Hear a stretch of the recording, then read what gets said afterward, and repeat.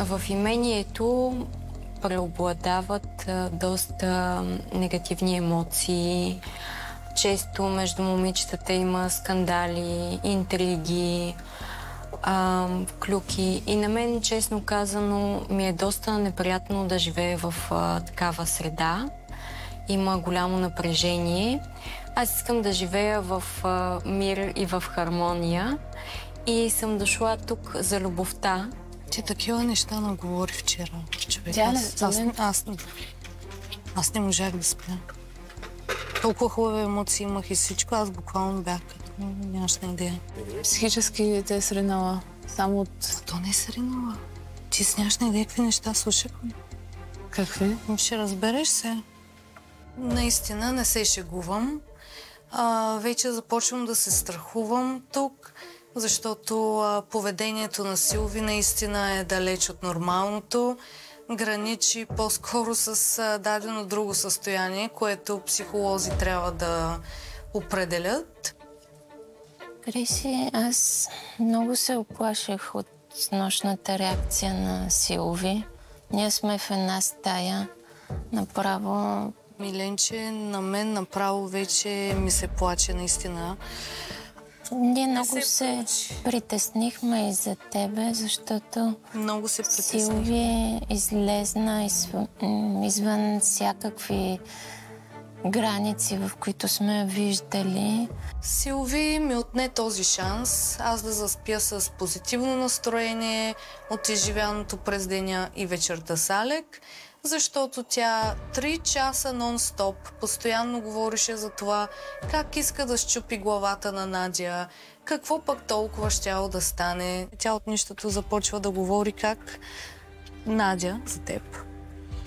Тази Надя как ме върна от тази игра. Тя буквално имаше нещо против мен. Няколко пъти ме връща. Целенасочено е. Тая Надя е адски злобна. Искам да отида и да изчупя главата. Да. Искам... Да й разбия главата. Да. Започна да говори за изключително гнусни неща, за наемане на хора, как това било много ефикасен метод всъщност, а, как имала намерение да изчупи крака, ръце, просто да я изплаши, а, при което аз се поглеждам и казвам, Силви, ти сериозно ли в момента това нещо го говориш или се базикаш? Не хора, сериозна съм. Аз мога да бъда изключително агресивен човек. Тук обаче се старая да не го показвала. Искам да отида сега да изчупя главата. Какво ще стане толкова, ако отида и натруша главата? Да. И ние стоим и си мислим, че тя се шегува. Да. Даже взехме да се хилим и казваме, Силви, по-спокойно, нали не дей така. Аз съм в шок. Не мога да повярвам какво чувам. Тя стои. Хора, с нейния поглед дори не мога да го направя. Хора, аз съм сериозна. Да. Това нещо ще го направя, но знаете ли, по-добре да не е тук, защото има камери. А като излезем извън предаването и има хора за всичко, ще наема някой, може да щупи крак, може да щупи ръка. Ние просто бяхме в шок.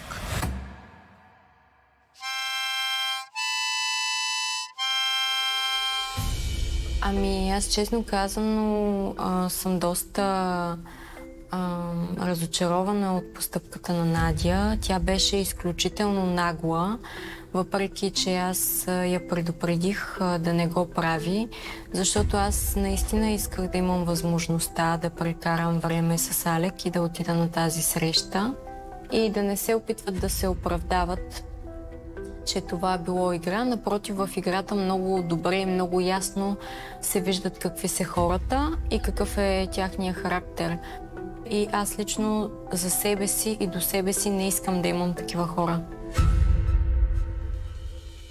Тя далеч не го възприема като игра. Тя го на живот е възприема като спирка, буквално намеса, физическа дори.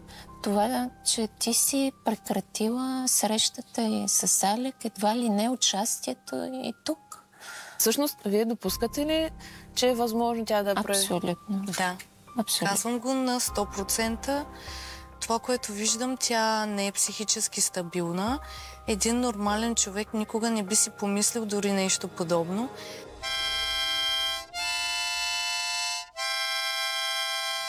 Някои момичета ги е страх от мен, но това е именно защото те не ме познават и не са ме опознали. Всъщност аз съм един много благ човек и наистина имам много нежна и красива душа.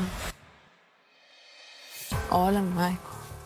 Аз Тя- наистина не съм подозирала. С нощи беше наистина ужасна вечер. Пълно време на вечерта тя дори стана. Милена веднага реагира. Ние вече си бяхме легнали. Както така сериозно говореше, изведнъж скочи от леглото и скачам веднага и бързо се ориентирам в ситуацията и я питам Силви къде отиваш. Тя казва на разходка. И аз тръгвам да я гоня, защото буквално се притесних да не дойде Нищо в да стаята. направи. Все пак Оля, тук има Оля. нали, кухненски ножове и така нататък. Просто се притесних да не вземе някакво импулсивно решение да отиде в стаята на Надя и да я нападне. Нади, разбери, тя два часа говори за теб, как иска да агресира върху теб и какво би ти направила. Както спим, уж се опитваме, нали? От нищото да стане, да каже, че малко ще се поразходи Да. с една доста решителна походка. Ама не, тя не го каза. Тя не го каза, отивам да се разходя. Тя, както си говорихме, изведнъж скача от леглото като изтребител и тръгва. Силвия е доста непредвидима. От такива хора не знам какво да очаквам. Не знам какво да ви кажа. Наистина е притеснително, защото, както Миленка казва, има ножове в кухнята. Да. Вратите не се заключват. Притеснявам се, разбира се, че се притеснявам. Все пак в къщата има ножове и вечерно време ми е притеснено как ще заспа.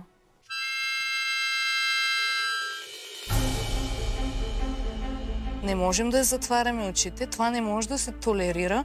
Аз отказвам да живея в страх за това какво може да ми направи, а искам наистина този проблем да бъде акцентиран и решен. Казвам истината, няма да се скрия за тъгала и няма да позволя Силви да влезе в моето съзнание и да си играе игрички. Ма няма да оставя някакво си момиченце тук да ми се качва. Ето тук и на мен ще, аз ще мисля за нея, тя дали нещо ще ми направила или не. Ще седя аз тук, ще разсъждавам, няма мога да спя от нея. Айде!